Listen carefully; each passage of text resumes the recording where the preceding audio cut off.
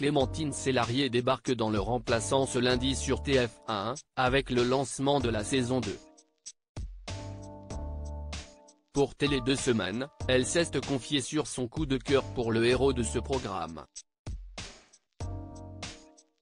Ce lundi 27 mai sur TF1, dès 21h10, sera diffusé les deux premiers épisodes de la saison 2 de Le Remplaçant. Après une mission en région parisienne, Nicolas Valère, le vacataire de l'éducation nationale incarné par Joe Star, débarque au collège professionnel Thomas Pesquet de Bordeaux. Si est-il là qu'il rencontre alors la chef d'établissement, à savoir Maïlise Vidal. Un rôle interprété par Clémentine Célarier. Cette dernière était ravie de donner la réplique à Joe Star, avec qui elle n'avait jamais travaillé auparavant. La maman d'Abraham, Gustave et Balthazar a même eu un véritable coup de cœur pour lui. Si est ce qu'elle a expliqué pour Télé deux semaines il y a quelques jours, j'étais hyper impressionné mais je suis tombée amoureuse de lui. De toute façon, je l'aimais d'emblée parce que si est quelqu'un de différent, qui prend des positions et qui ouvre sa gueule.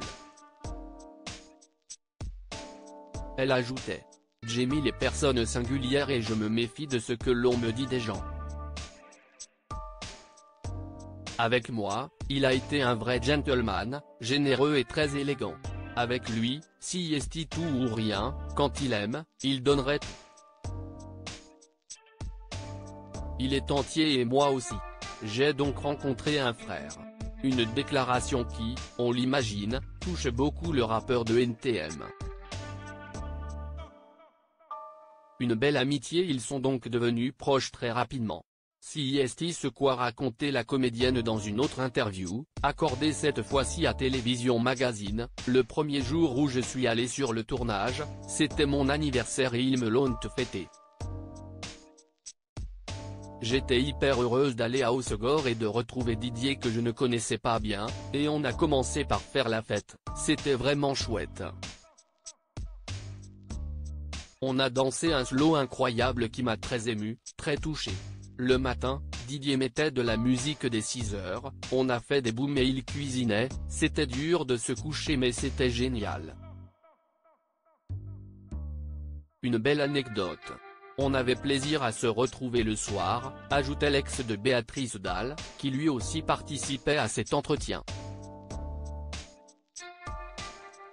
Pour rappel, les deux premiers épisodes du Remplaçant, le 12 avril 2021, avaient rassemblé 6,58 millions de téléspectateurs sur TF1.